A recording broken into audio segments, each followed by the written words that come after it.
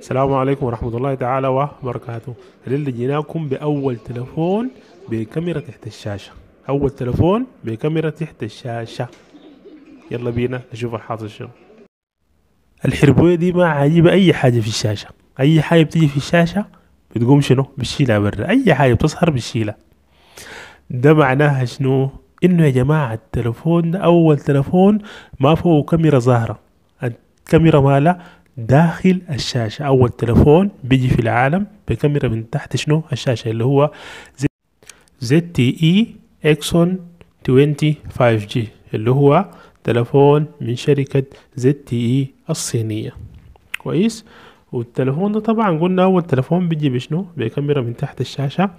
طبعا هو تلفون من الفئة المتوسطة. كويس؟ آه بيجي بمعالج Snapdragon اللي هو سبعمية خمسة وستين G. كويس.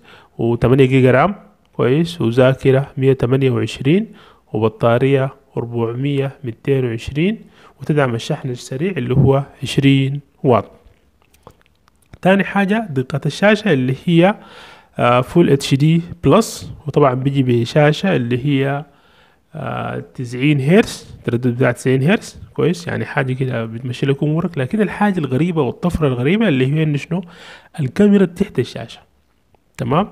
هي طبعا الكاميرا انت ما بتلاحظ لها إلا إذا ميلت الشاشة بطريقة كده شنو؟ بطريقة كده معينة ممكن تظهر لك شنو؟ تظهر لك الكاميرا لأنه مكان الكاميرا كويس خطير عدد البكسلات قليل ما زي باقي الشاشة. كويس إلا تقوم تميلها بطريقة معينة كده بتلاحظ إنه شنو؟ في زي مربع كده خفيف بتاع كاميرا لكن التصوير بتاعه مقبول. الاداء بتاعه سلس كويس جدا.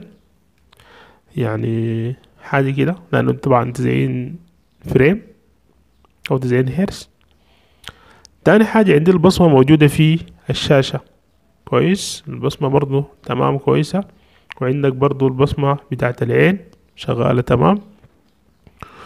والشحن السريع اللي هو بيشحن لك في نص ساعة ستين في المية من البطارية. كويس؟ اللي هو ده الشحن شنو؟ الشحن السريع بتاعه. تاني حاجة آه بنجي للكاميرا طبعا الكاميرا التصوير بتاعها يعني جيد كويس لكن بعض مرات بتحس إنه في حبة غباش كده في الصورة بالذات ممكن تكون الإضاءة ضعيفة. لكن بتمشي الأمور يعني الكاميرا ما على قدر كده. لكن صورتها شنو؟ صورتها كويسة.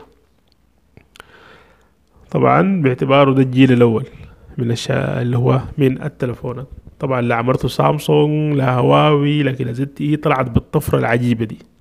وإن شاء الله اللي قدام يكون في تطور أكتر من ناحية الكاميرات داخل الشاشة.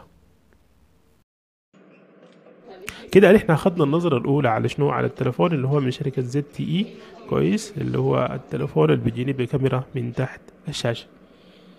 كويس إن شاء الله يكون في تطور أكتر لقدام. آه وما تنسوا الاشتراك في القناة وتفعيل زر الاشتراك والسلام عليكم ورحمة الله تعالى وبركاته.